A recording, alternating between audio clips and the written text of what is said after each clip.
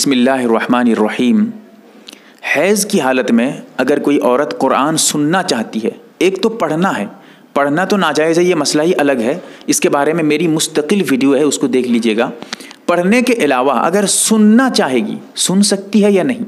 کوئی اگر قرآن بیٹھ کے پڑھ رہا ہے، یہ عورت جا کر وہاں بیٹھ جائے، حیض کی حالت میں ہے، ناپاکی کی حالت میں ہے، یا پھر جو ہے نفاس کی حالت میں، وہ بھی ناپاکی ہے، یا جنابت کی حالت میں ہے شوہر بیوی صحبت کیے ہوئے تھے، غسل نہیں کی ہے، ناپاکی کی حالت میں ہے، تو ایسی صورت میں اگر کوئی وہاں قرآن پڑھ رہا ہے، یہ قرآن جا کے سن سکتی ہے یا نہیں؟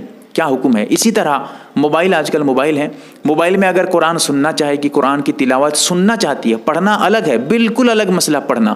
اس کو یہاں فٹ مت کریے گا۔ سننے کے بارے میں کہہ رہا ہوں۔ سن سکتی ہے یا نہیں؟ موبائل وغیرہ سے کیا حکم ہے اس کا؟